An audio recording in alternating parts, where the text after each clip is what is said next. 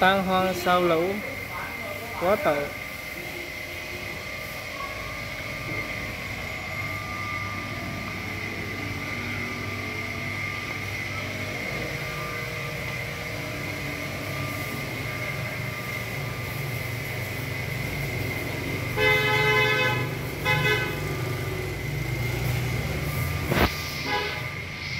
Nhìn cánh mà xót xa.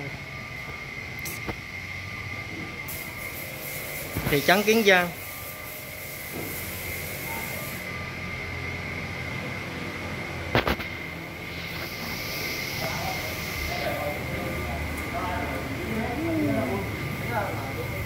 có ơi.